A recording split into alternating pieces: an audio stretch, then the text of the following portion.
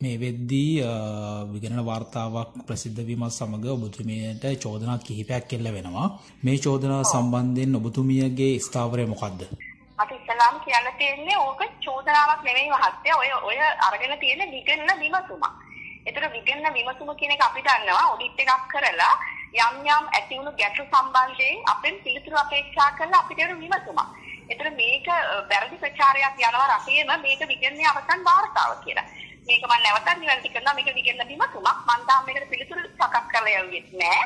එතකොට මම මමත් මේ අදාළ පාර්ශවයෙන් මේකට පිළිතුරු අරගෙන මේකට පිළිතුරු විගණන කාර්යපත් දෙපාර්තමේන්තුවට යවන්න ඕන අධ්‍යාපන මණ්ඩල ලේකම්තුමාලා.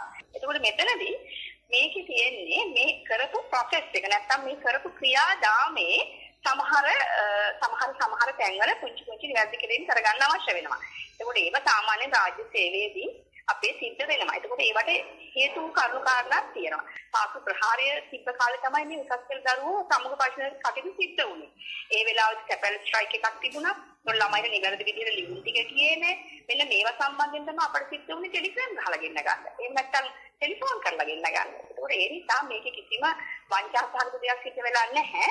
අර චක්‍රලයේ ප්‍රකාරව තියෙන යම් යම් ක්‍රමවේද අවස්ථානුකූලව අපි සංශෝධනය කිරීමක් විතරයි කරලා තියෙන්නේ. ඒකට අපිට මේ උත්තරේ දෙන්න සිද්ධ වෙනවා ඉගෙන දෙපාර්තමේන්තුව. ඉතින් ඒ උත්තරේ පිළිගත්තද නැද්ද කියන එක අපිට දන්නව නෑ. තව මේකේ තව ඉදිරි පියවර තියෙනවා. මට පැහැදිලිව උතුරා කියන්න තියෙන්නේ මේ පිටිපස්සේ ඉන්නවා මේ පාසල ඔබතුමා දන්නේ නැති වසර 10කදී විදුහල්පතිනියන් පස් දෙනෙක් ස්ථාන මාරු ලබ පාසලක්.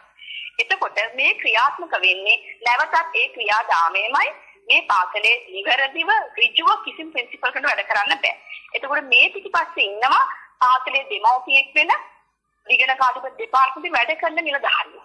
ඔහුගේ පෞද්ගලික අවශ්‍යතාවයට තමයි මේ විගණ වාර්තාව එළියට ගිහින්නේ.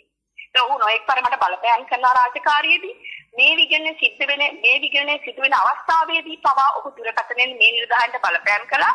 තාමත් මේ බලපෑම සිද්ධ වෙනවා. ඉතින් ඒ නිසා මට හිතෙනවා ඔහු මට මේකට පිළිතුරක් දෙන්නවත් අවස්ථාවක් නොදී මේක මාධ්‍ය මගින් ප්‍රචාරය කළ උත්සාහ කරනවා.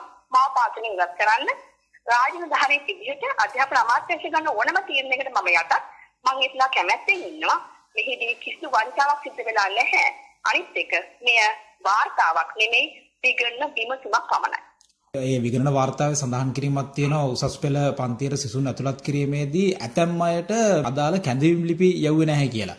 ඒ සම්බන්ධයෙන් මොකද්ද ඔබතුමීගේ ප්‍රචාරය? කැඳවීම් ලිපි යවුවේ නැහැ නෙමෙයි මහත්තයා. ඔබතුමා බලන්න අප්‍රේල් 21 කින් පස්සේ මේ කාලය තුල වාර කිහිපයක්ම සැපල් ස්ට්‍රයික්ස් තිබුණා. ඒ කියන්නේ සැපල් වර්ජන තිබුණා. අන්න ඒ අවස්ථාවේදී දෙමාපිය අපෙන් විමසීමක් කළා මට නියුම ආවේ නැහැ කියලා.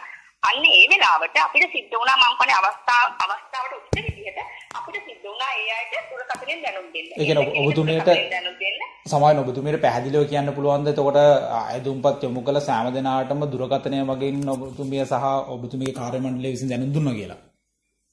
අයදුම්පත් යොමු කළ සෑම දෙනාටම කැඳෙන්නේ නැහැ පාසලෙන්. ඒ සම්මුඛ පරීක්ෂණ මණ්ඩලය මගින් යම් යම් මේ ප්‍රමුඛතා ලේඛනයක් සකස් කළා. ඒ අනුව ඒ පාසලේ තිබ්බ මේ පෙර සංස්කෘතිය සැලකිල්ලට අරගෙන ඒ අය තීරණ අරගෙන තියෙනවා මෙන්න මේ ප්‍රතිඵලයන් තමයි අපි කැඳවන්නේ කියලා. උදාහරණයක් විදිහට අපි හිතුවොත් එහෙම අපි බඳවගන්නේ වාණිජ්‍ය අංශයෙන් නම් වාණිජ්‍ය අංශයට මේ අය බඳව ගැනීමේදී සැලකිලිමත් වෙන අපේ සාපේක්ෂව වාණිජ්‍ය විෂය හදාරා තිබින්න. ඒක පාසලේ ඇති කරගත්තු තීරණයක්. මේ මණ්ඩලයක් මගින් තමයි මේක කරේ මේක මගේ පෞද්ගලික වැඩක්වත් මම පෞද්ගලික මැදිහත් වෙන්නේ මේ කිසිම දෙයකට අදාළ සමුග පරීක්ෂණ මණ්ඩලය මගින් තමයි ඒ ඒ මණ්ඩලයේ කවුද ඉන්න සමාජිකයන් කියලා ඔබතුමීට කියන්න පුළුවන්ද අනිවාර්යයෙන්ම මේ හැම මණ්ඩලයකම ප්‍රධානියා උනේ නියෝජ්‍ය හෝ සහකාර විදුහල්පතිනිය ඊට අමතරව අදාළාංශයේ අංශ ප්‍රධාන සහ ජ්‍යෙෂ්ඨ ගුරුවරයෙක් මේ මණ්ඩලයේ ඉගෙන විමසීමේ තියෙන කාරණයක් තමයි දැන් ප්‍රතිඵල ඒ කියන්නේ අඩු ප්‍රතිඵල තියන අයටත් මේ කැඳවීම තිබුණා නමුත් ඊට වඩා වැඩි ප්‍රතිඵල තියන අයට මේ කැඳවීම ලැබුණ නැහැ කියලා. ඒක වැරදි. ඒකට හේතුව දැන් ඔබතුමා දන්නවා අපි කලා විෂය ධාරාව ගත්තොත් එහෙම කලා විෂය ධාරාව කියලා කියන්නේ විෂයන් 24ක් හෝ 25ක් තියෙනවා. එතනදී අපි ප්‍රධාන වශයෙන් යනවා සමාජ විද්‍යා විෂය ධාරාව. ඒ කියන්නේ සිංහල, දේශපාලන විද්‍යාව, ආර්ථික විද්‍යාව මෙන්න මේ වගේ විෂයන් තමයි අපි සමාජ විද්‍යා විෂය ධාරාවට. එතෙන්දී අපි යම් කිසි ප්‍රතිඵලයක් තීරණය කරලා තිනවා මෙන්න මේ ප්‍රතිඵලයෙන් ඉහළයි තමයි ගන්න කියලා පුරප්පාඩු සංඛ්‍යාව අනුව. හැබැයි පාසලේ තියෙනවා හින්දි, එහෙම නැත්නම් ජපන්, සංස්කෘත, නාට්‍ය ආරංග කලාව, ඊළඟට සංගීතය, ඒ වගේ විෂයන් වලදී අයදුම්කරුව අයදුම් කරලා තියෙන අයදුම්කරුවන්ගේ ප්‍රතිඵලත් එක තමයි අපිට යන්න වෙන්නේ. දැන් උදාහරණයක් වොත් අපි ඒ පහ කියන සීමාවේ තමයි හිටියේ සමාජ විද්‍යා විෂය ධාරාව ගන්න. හැබැයි ඒ පහක් නොතිබ්බට ඊට වඩා අඩු ප්‍රතිඵලයක් තියෙන දරුවෙක් හින්දි විෂය ඉල්ලා තිබුණොත් අපිට හින්දි විෂයට ඉල්ලන්නේ බොහොම ටිකක් අඩු ප්‍රතිඵල තියෙන ළමයි අපි එතකොට තේරීමක් සිද්ධ වෙනවා අඩු ප්‍රතිඵලයක් තියෙන ළමයෙකුට. එයා ඉන්න විෂය අනුව. විෂය අනුව පුරප්පාඩු සංඛ්‍යාව අනුව කලා විෂය ධාරාවට බඳව ගන්නකොට ඔය කියන වේරියේෂන් එක වෙන්න පුළුවන්. අනිත් ඒවාට නැහැ. ඔව් පැහැදිලි. එතකොට දැන් අවසාන වශයෙන් මේ අර පාස්කු ඉරිදා ප්‍රහාරය අවස්ථාවේදී ආරක්ෂිත වැට ඉදි කරන්නට ලබාගත් මුදල් වලට මේ ලදු පොතක් නැත්නම් රිසිට් පතක් නිකුත් කරේ නැහැ කියලාත් මේ සඳහන් වෙනවා. අපි ඒ මුදල් අපි ගත්තේ නැහැ. ඒ අවස්ථාවේ මුතුමාට මම නැවතත් කියනවා ඒ අවස්ථාවේ තිබ්බ තත්ත්වයක් එක්ක අපිට මේ මුදල් එකතු කරලා චක්‍රයක ප්‍රකාරව මේ වැටවල් ගහන මානසිකත්වයක් කිසිම කෙනෙකුට තිබුණේ නැහැ. මේක කලේ පැහැදිලිවම දෙමාපියෝ. දෙමාපියෝ විසින් අදාළ බාස් කෙනෙක් යොමු කරගෙන දෙමාපියෝ තමයි මේ වැඩේ කළේ. ඒකෝට අපි මේකට මුදල් අරගෙන අපි සම්බන්ධ වුණේ කිසිම දෙයක් කළේ නැහැ. දෙමාපියෝ තමයි සතියෙන් දෙකෙන් මේ වැට ගහලා ඉවර කරේ. ඒ වැට ගහනකම් එයාලා යාලගේ ළමයි ඉස්කෝලේ යන්නේ නැහැ කිව්වා. ඉතින් ඒ අවස්ථාවේදී මට ඒ තිබ්බ තත්ත්වයක් එක්ක ආත්ම ප්‍රධානය විදිහට මට සිද්ධ වුණා නිකන් වෙන දෙමාපිය නිද දීලා. එතකොට මේ ඔව් මේ මේ විගණන විමර්ශනයට අදාළ ඇතම් ලේඛන මේ කබඩ් එකක මේ ලොක් කරලා තිබ්බ කියලා සඳහන් කිරීමක් කරනවා. ඔව්. ඒක නම් ඇත්තටම එදා දවසේ මම නිවාඩු ලබලා හිටියේ මේ මේ සම්බන්ධයෙන් මගේ කිසිදු මැදිහත් වීමක් නැහැ.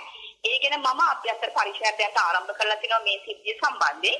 ඒ වගේම අධ්‍යාපන අමාත්‍යාංශයෙන් මේ සිද්ධිය සම්බන්ධයෙන් පරීක්ෂණයක් කරනවා. එතකොට ඒ සම්බන්ධයෙන් මට කිසිදු දෙයක් ප්‍රකාශ කරන්න බැහැ. හේතුව මේ සිද්ධියට මම නිමාඩුයි. මේකට මගේ කිසිම සම්බන්ධයක් නැහැ කියන එක තමයි මට කියන්න පුළුවන්. අපි බලන් ඉමු පරීක්ෂණයේ අවසානයේ හොයාගනි. ඇත්තටම කවුද මේ විගණන කබඩ් එකේ